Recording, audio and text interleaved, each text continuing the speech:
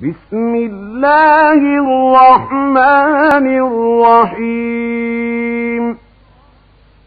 قل أعوذ برب الفلق من شر ما خلق ومن شر غاسق إذا وقب ومن شر النفاثات في العقد ومن شر حاسد إذا حسد.